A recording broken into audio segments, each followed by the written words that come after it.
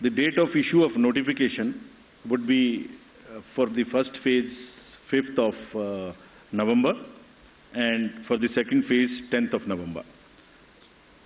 For uh, making nominations, it would be 14th November for phase 1 and 17th November for phase 2.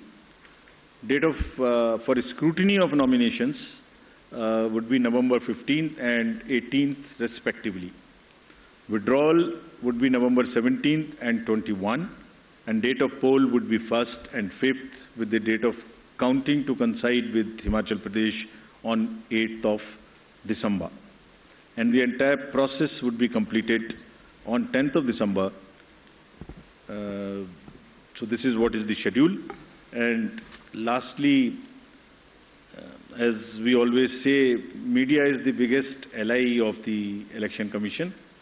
तो आपके माध्यम से मैं सभी वोटर्स से ये अपील करना चाहता हूँ कि वो इस चुनाव में बढ़ चढ़ के हिस्सा लें, निष्पक्ष तरीके से लें। अगर कहीं कोई उनकी समझ से इरेगुलर एक्टिविटी या पार्शियल एक्टिविटी है तो उसको सी विजिल के माध्यम से ज़रूर ज़रूर हमें खबर करें and we will ensure that they get the answers in 100 minutes thank you very much तो ये इस वक्त की बड़ी खबर ये आप देख रहे हैं। आप सीधे सीधे आपको तारीखें बता दें। एक तारीख और पाँच तारीख ये होंगी चुनावों की तारीख। दिसंबर में आठ तारीख को हिमाचल के साथ नतीजे आएँगे। दस तारीख तक चुनाव की पूरी प्रक्रिया हर तरीके से पूरी कर ली जाएगी। ये अनाउंसमेंट किया गया। कुल मिलाकर जो महत्वपूर्ण डेट्स हैं, वो है एक तारीख दिसंबर में, पाँच तारीख दिसंबर में और आठ तारीख को सामने आ जाएगा नतीजा कि किसने बाजी मारी और कौन रह गया। इस बार। और ये तारीखें तारीखें उनका महत्व, चुनाव के लिहाज से। जरा यह समझने की कोशिश करेंगे, एक बार फिर से दोहरा दें। एक और पाँच दिसंबर को वोट डाले जाएँगे। दो चरणों में चुनाव होंगे। दो चरणों में चुनाव पिछली बार भी हुए थे।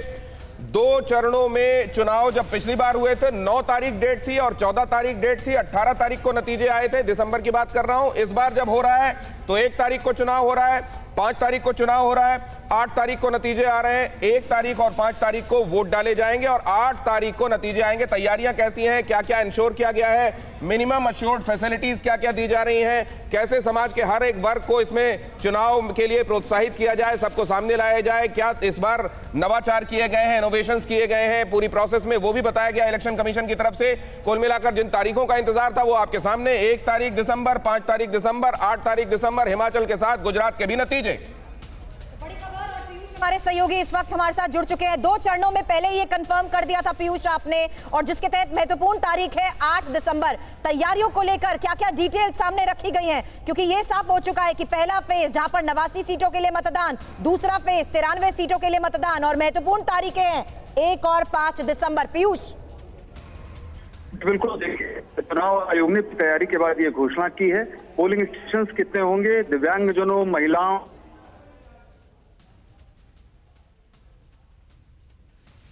और यहाँ जब ये इन तारीखों का ऐलान हुआ है, ज़ाहिर है इसके बाद वहाँ सिग्नल्स जैम हो रहे हैं और एक बाढ़ सी आई हुई इन्फॉर्मेशन की हमारे संवाददाता पीयूष आपको लगातार अपडेट दे रहे हैं। उन्होंने इस बारे में आपको पहले ही बता दिया था कि दो चरणों में इस बार भी चुनाव होंगे, संभावित तारीखें भी बता दी थी। और इस बार अब आप देख रहे हैं कि आठ तारीख को हिमाचल के साथ ही गुजरात के नतीजे आ रहे हैं।